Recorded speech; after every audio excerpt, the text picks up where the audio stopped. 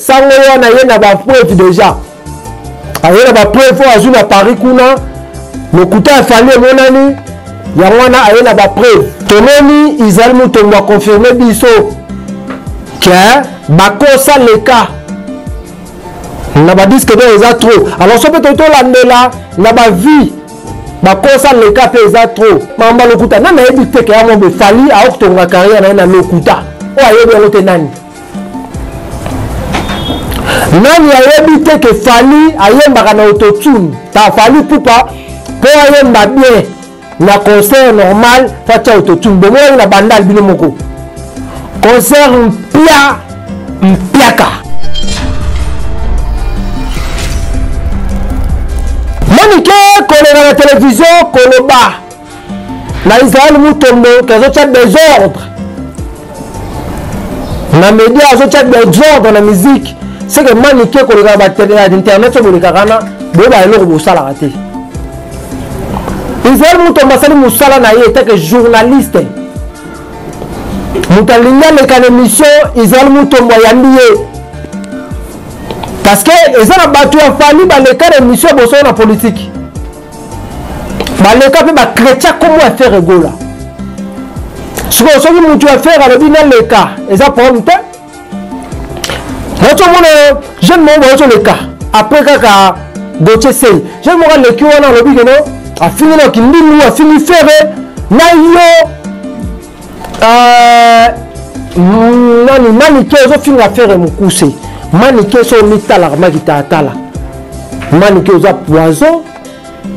manike oza oza elongi euh, mabe manike manike oza salita mwasi solo monoko monene monoko solo osokolaka bien te oza monokolo ya mbisi oyo mbisi oyo basalelaka makayabu oyo na cape town awa na cape town biso okoyo nabosani nkombo na yango nani keso yo biloko eza moto okolobaka na televizio te oye mpe ozofinga poso na politike okozwa yo abokoli yo abokoli bana na yo abokoli na mobali na yo uta london wana azwi yo basango panza moni kake poto amemi yo na dubai omemi yo na dubai mbongo mbala bato esili yo wana azongi mboka na yo so auta wapi malgré okoleka na télévision te obanda ocrache si totyana ata israel israel c'est bien bon c'est bien bon israel mutombo aya na kisa bokoko na télévision mais faut comprendre que israel mutombo naza moto aza nao na motu un papa responsable na kongo wana kozwa vie eza facile te na kongo wana bandaka yo manike banda na télévision na internet koleka kofinga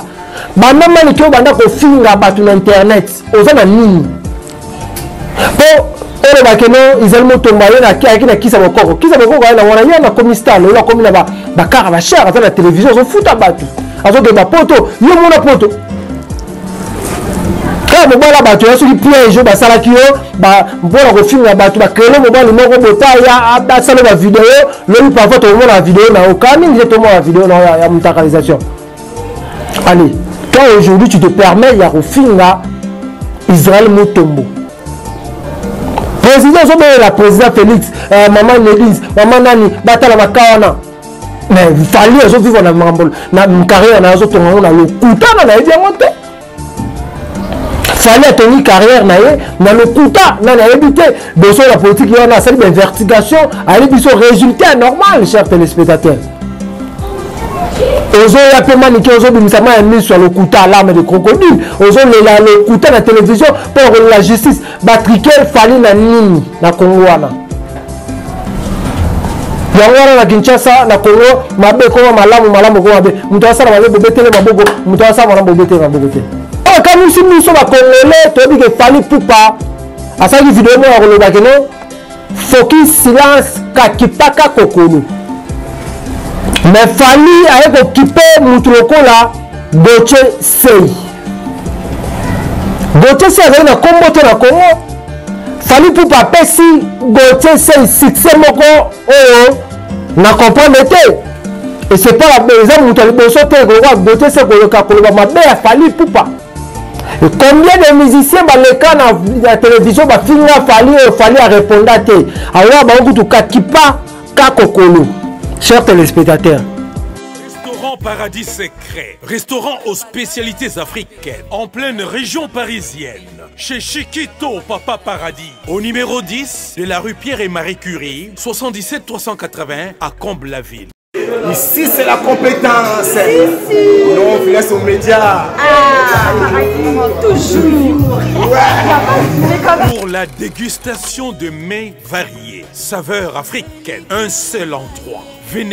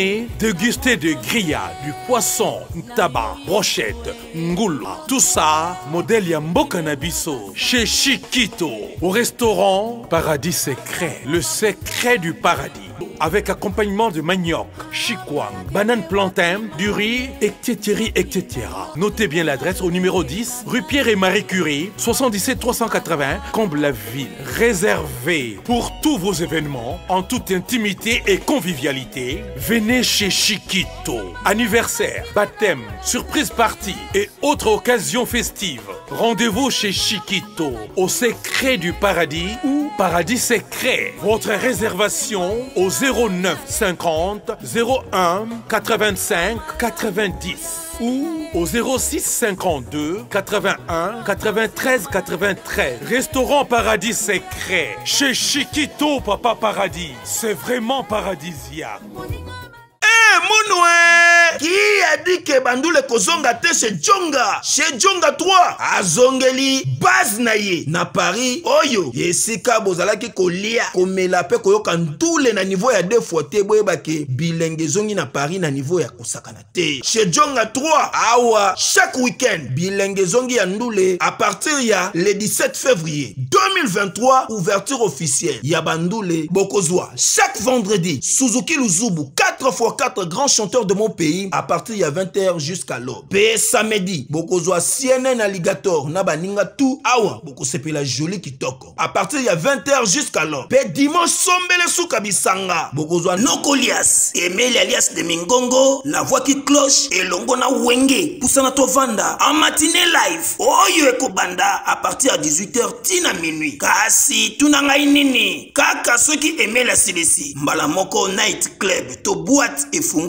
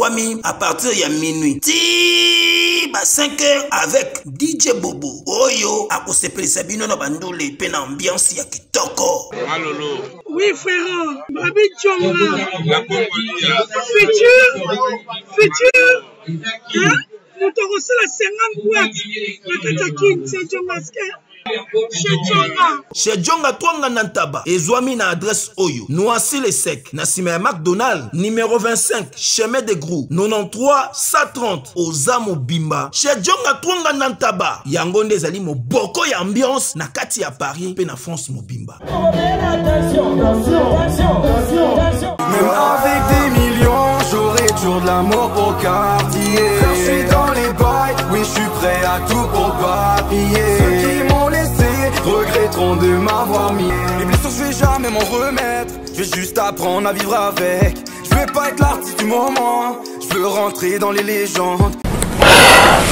Voilà, chers téléspectateurs, bonjour et bonsoir à l'ami fidèle de la 3 fois W Banking France Télévision. Merci pour votre fidélité. Yannick Wenge, Mototo Yannick Wenzambe, le père de tous les journalistes et vivants faux d'ici, ceux qui ont c'est le Likambo. ezali toye na plateau parce que tovandi kimia te tovandi kimia te likambo ya fali ipupa Ferre Gola likambo ya ba disque d'or ezotya biso moyen ata ya kobouge eza te moye biso bachroniqueur biso bajournaliste moye tozwa ata pema topema ata laise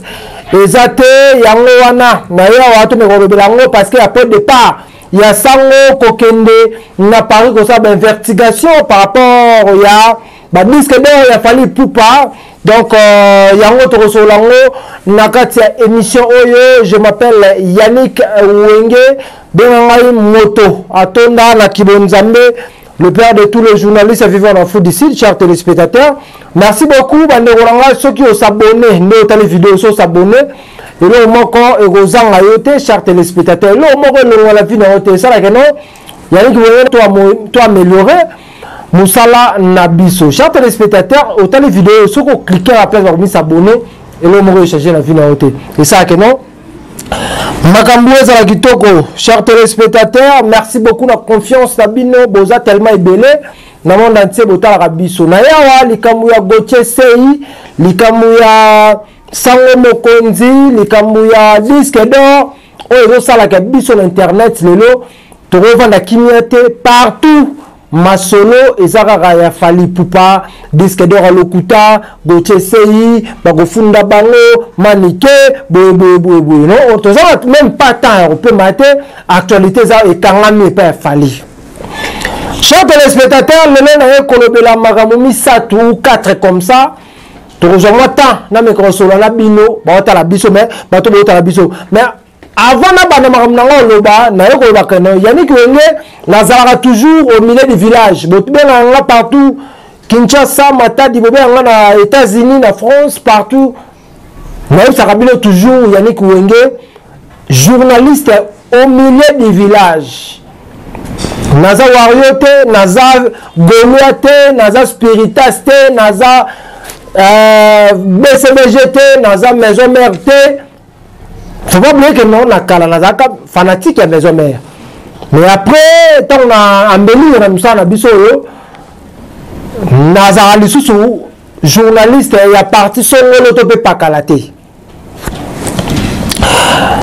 Chers téléspectateurs, Gauthier Sey aleki na télévision koloba keno Fally Ipupa a construire miziki na ye na lokuta.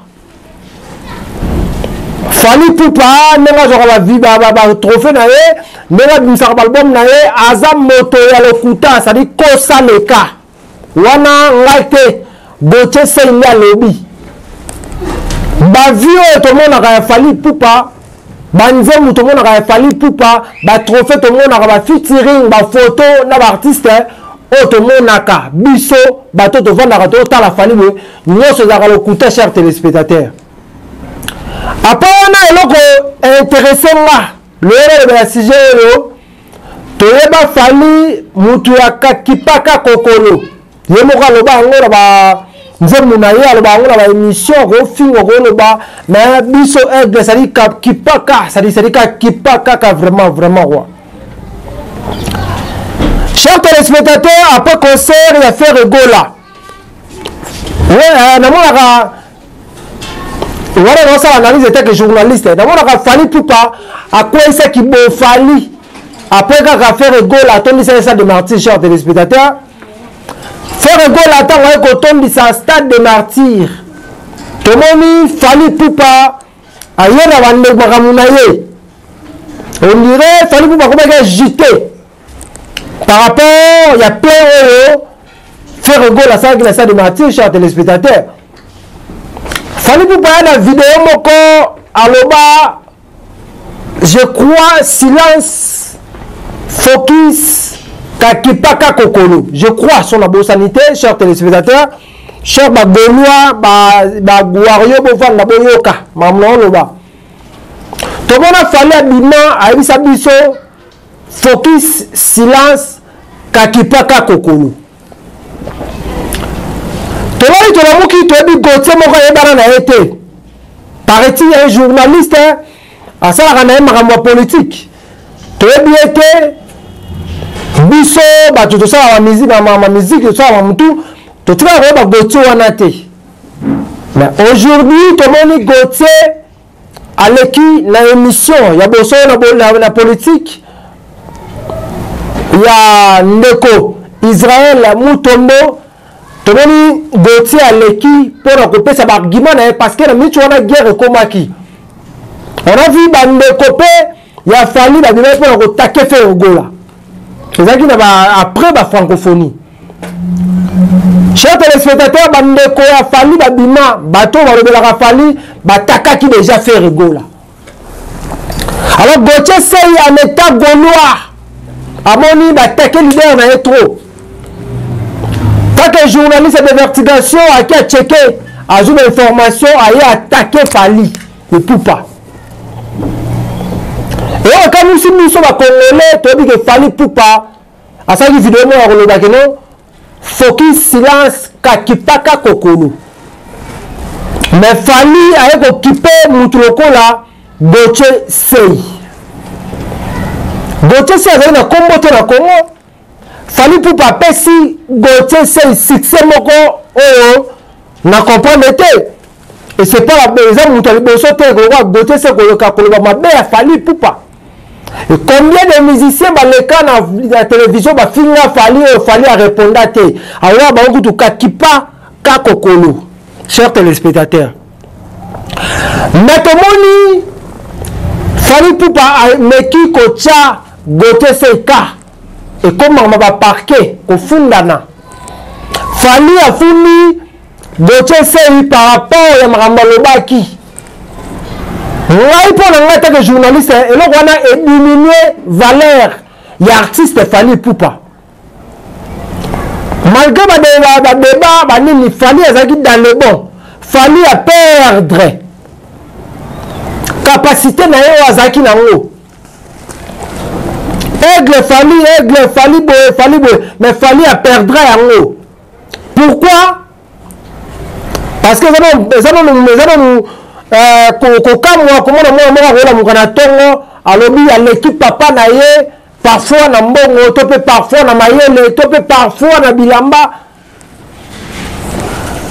omona ngo fo ekamusa bato ntongo moko elamuka fali azalaki dans le bon bajournaliste na ye babima mbala moko kofinga fere kofinga wera kofinga kofi kofinga jibe fali aleki soki nani orge ezalaki tokolelaka eza ta ya fali fali akoya kobebisa ta na ye par rapport ya kotalaka bitalatala oyo alobi olandi oyo alobi bajournaliste babimi bafini mikolo nde eloko ozosala keno crédibilité ya artiste fali pupa et se disparaître mesdames demoiselles et messieurs fali azoperdre bakalite artistique oyo azalaki nango sans pourtant être wario sans pourtant être euh, euh golois o oh, spiritas un journaliste naye kosala analyse fali pupa soki otiki makambo ya gotiese oyo te ekosilisa carrière ekovide yo chers téléspectateurs bandeko bozalaka pembe na fali boconseille ke fali ke ameka kotika badosie oyo parfois ntango bato bakokende bavoka banini bakokende mpo na dosie wana ezosilisa crédibilité ya artiste cher téléspectateur touti komona israel mutombo journaliste de vertigation journaliste ya bosoyo na politike mpe patron ya chaîne bosoyo na politike yaniki lokwa yaniki wenge patron ya kin france télévision tomoni israel mutombo na paris na vivendi kokende kokobia vertigation koyeba parce que makambo wana ebandaki na chaîne na ye gotie se alekaka mpo ya koloba yeno fali pupa azali kotonga carrière na ye musicale na lokuta israel mutombo na kati ya paris depuis lobi kosala bainvestigation etant que journaliste ameki kolandela baverité koyebana badiske bee mosusu oyo fale yaka nango na kinshasa ezalaka lokuta cher téléspectateur ngai te izali motombo nde ayeli biso izali motombo nde ayeli biso verité sala ba investigation asalaki ke badiske dor mosusu oyo fale yaka nango na kinshasa eza ya lokuta cher téléspectateur sinepe eyebi yango te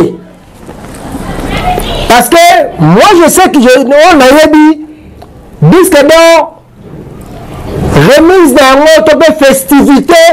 to cérémonie ya remise ya disque d'or ekosalama na maison oyo epesi mais fali mpe badisque d'or mingi afete yango na congo ayeka na stade alakisi ayeka na nini mais cérémonie ya remise badisque d'or wana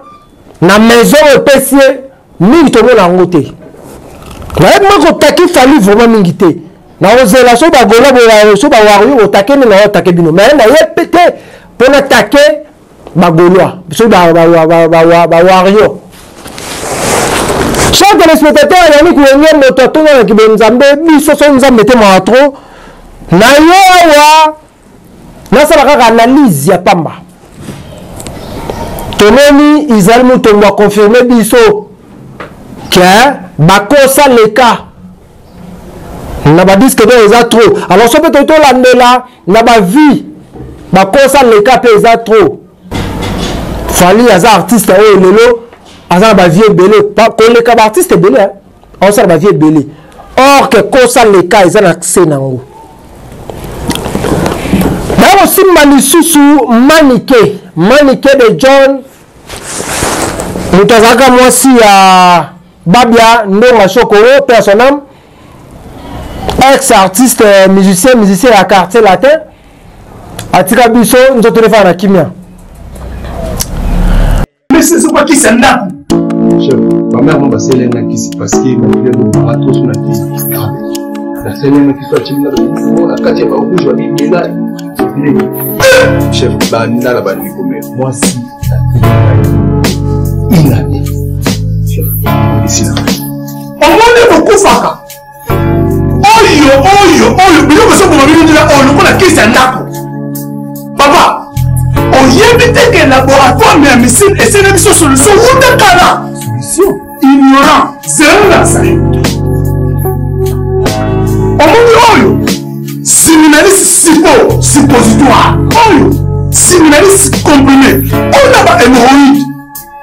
voilà omoni desesprit oyo eza mpo na faiblesse sexuelle epo mpo na frigidité mpo na basi ekoyede makasi mais borex soki osisi traitement nyonso tu ya hémorroïde nde sikoyo okobanda kopakola yango mpo na nzoto ya biso bapapa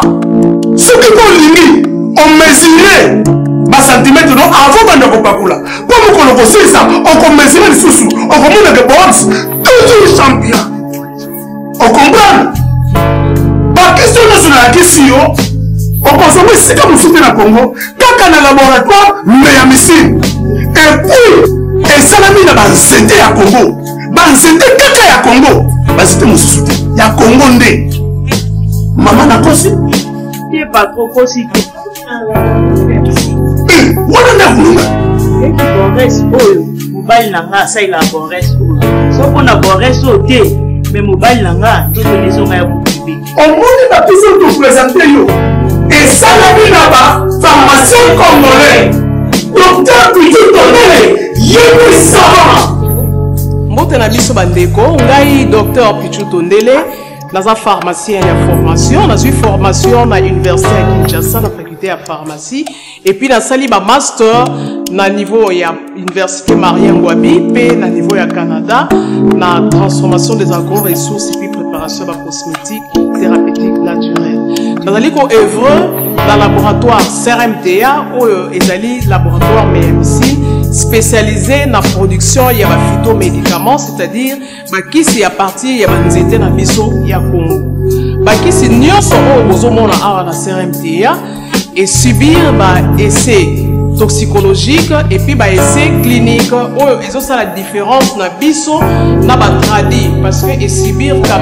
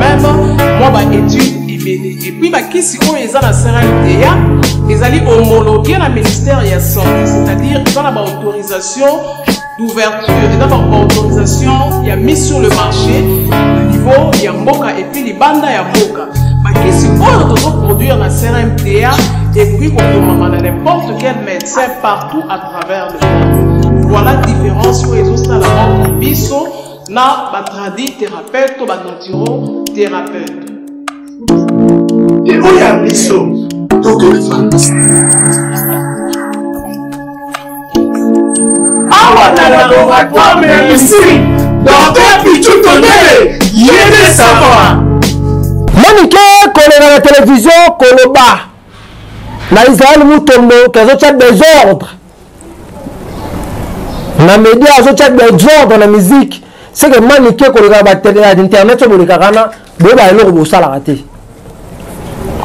israel mutombo asali mosala na ye etake journaliste moto alingi aleka na émission israel mutombo ayambi ye parce que eza na bato ya fali baleka na émission ya bosolo na politike baleka mpe bakretia nkombo ya fere egola sikoyo soki motu ya fere alobi naleka eza problème te nazomona jeune moko bazoleka après kaka gotie sei jeune moko aleki wana alobi keno afingi na kindingu afingi fere na yo euh, nani manike ozofinga fere mokuse manike so mitalaka makitaatala manike oza poison manike oza oza euh, olongi mabe manike manike oza salita mwasi solo monoko monene monoko solo osokolaka bien te oza monoko loyo ya mbisi oyo mbisi oyo basalelaka makayabu awa na cape town awa na cape town mbisi oyo koyo nabosani nkombo na yango manike so yo biloko oza moto okolobaka na televizio te oye mpe ozofinga boso na politike oyo akoyozwa yo abokoli yo abokoli bana na yo abokoli na mobali na yo uta londre wana azwi yo basango panzani moni kake poto amemi yo na dubai omemi yo na dubai mbongo mbala bato esili yo wana azongi mboka na yo so auta wapi manike okoyemeka na televizio te obanda okrache si totyana ata israel misael c'est bien bon c'est bien bon israel mutombo aya na kisa bokoko na televizio mais faut comprendre que Israël Motombo naza moto aza na mutu un papa responsable na Congo wana kozwa vie eza facile te na Congo wana banda ka yo manike banda na télévision na internet koleka kofinga banda manike yo banda kofinga bato na internet oza na nini po oloba ke no izali motomba ye ayaki na kisa bokoko kisa bokoko aye na wana ye nakomi star lelo akomi na bakara bashar aza na televizio azofuta bato azokeba poto yo mona poto kaka mobala bato ya soki piège oyo basalaki yo mpona kofinga bato bakrele mobali moko bopaya basala bavideo lobi parfois tokomona bavideo na yo kaa mingi te tomona bavideo na yo ya mutakalisation allez toi aujourd'hui tu te permets ya kofinga Israël Mutombo président azobelela président Félix euh, maman Nelise maman nani batala bakawana mais fali azovivre na makambo na carrière na azotonga yango na lokuta na nayebi yango te fali atongi carrière na ye na lokuta na nayebi te boso ya politiki wana asali bainvestigation ayeli biso résultat normal cher téléspectateur ozoya mpe manike ozobimisa mai ya miso ya lokuta alarme de crocodile ozolela ya lokuta na televizio mpo ya kolela justice batriker fali na nini na kongo wana yango wana na kinshasa na kongo mabe ekoma malamu malamu ekoma mabe moto asala mabe bobetele maboko moto asala malamu bobetele maboko te botika biso tovanda mo fali o oh, oh, gotie sei botika biso mikolo tokopema te ezaka fali gotie sei asalaki boye makambo ya lokuta nani ayebi teke ya mobe fali aokotonga kariere na ye na lokuta oyo ayebi yango te nani nani ayebi te ke fali ayembaka na autotune ta fali pupa mpo ayemba bien na concert normal fo atya autotune bomonaki na bandal bino moko concert mpia mpiaka concert mpia mpiaka soki fali ayembi na autotune te akoyemba bien te nga nayebi yango te botika biso tovanda tosala makambo mosusu totala baactualité mosusu okomi kaka okotaka boye eyo eh, fere mokuse odiamba eboye eh, fali topema towelinu botika biso topema tozozela deuxième édition oyo to soit deuxième rendez-vous oyo gautier se akoya kosamba je crois eza semaine oyo toza na fali pupa bapreuve parce que sango wana ye na bapreuve déjà aye na bapreuve oyo azwi na paris kuna lokuta ya fali emonani yango wana aye na bapreuve cher téléspectateur je crois apres bapreuve ekobima to apres wana tokoya lisusu tomeka kosala baanalyse par rapport makambo eleka na toza mpe focus na makambo wana te soki tokomi focus na wana mpo ye moko fali alobaki silence focus kakipaka me akipe Gauthier Sey oyo ayebaka na ye te toyebaka ye te akipe ye yango biso mpe tokokipe bino oyo mabe tokoloba merci beaucoup na héritier watanabe concert na ye ya mwanda osali plein héritier wata otondisi mwanda mwanda antuka etosi etake yaniki oye journaliste moto atonaka kibonzambe na ye mpo na félicité héritier watanabe namoni vraiment plein esalami ferre gola mpe alivraki concert na ye na ferre gola na, na mwanda wana nalandelaki te oyo nalandi mingi oyo natali eza ya ya heritier watanabe atondisi en tout cas bato bazalaki wana basepelaki mais affaire egola mpe nakoluka na verifie yango ya après nakoya tomeka mpe kosolola awa ezala bien tozozalaka na suite biso tozotala toza na afrique du sud toza na cape town na minute oyo toza na cape town tozozela kaka information oyo ezali moto moko wana yango toyeba fali pupa asala carrière na ye na lokuta to mpe gote sei akoselaki ye makambo merci beaucoup cher téléspectateur na confiance mpe fidélité bozala nango epai ya biso bosabonaka mingi na chaîne na biso bokonza kosabone parce que soki otali video par hasard obone osabone te ou soit osabone eloko moko okoperdre eza te eza kaka koklike kolakisa bonne volonté wana esalaka biso mpe to avance mosala na biso en tout cas osala bien bandeko na ngai nasengi bino bosabone ebele na kati ya chaîne na biso bopartage na video na biso koyeme kokommente mpe baremarke ya tout ekozala mobimba kaka nde nayebisaki bino na ebandeli nayaki awa etake journaliste au milieu du village ni golois ni wario ni soki nani toujours au milieu du village ndenge bokomisi biso bizi bato ya bawario na bato ya fere gola bagolois biso nde toya problème te totala bino makambo nyonso kosalama tokosalela yango kaka analyse alors botemi biso vraiment rigueur te bandeko na biso kotalaka biso ya kin france télévision toza wana toujours mpo tosolola sur baactualité tokomi na suka émission na biso analyse valable ezali présente par wabino yannick wenge moto atonda na kati na kibonzambe merci na fidélité mpe confiance oyo bozalaka nango botalaka biso boza tellement ebele na monde entier komona ngai yannick wenge naza ndeko na bino congolais Na vivaka awa na kati ya Afrika Ngele mikolo oyo Cape Town. Toza na Cape Town pour on toujours des ba émissions ko pesa bino information. Merci beaucoup na le président Joe Kasai cérémonie. Le président Joe Kasai cérémonie na pesi mbote et merci beaucoup encore euh, na DJ Chef Alizolele na pesi mbote boze belé Kije Kimbadi, longola Kento, c'est-à-dire mokolo yango Hervé Kimbadi parmi les restes, Kije Kimbadi, napesi mbote, napesi mbote na Selenge Fashion, trois fois King Kabo immortel, trois fois, trois fois, benga kaka trois fois, makambo nayo koyo changer, napesi mbote na bato ebele, boza tellement ebele, Fisto Bonheur, napesi mbote, napesi mbote na Kelly Laroca mwana poto napesi mbote na Boss Océan napesi yo mbote merci beaucoup encore na boza telema ebele boza telema ebele boza telema ebele André Mekato napesi yo mbote tokomi na suka ya emission na biso tika ete kimia engela omabotama bino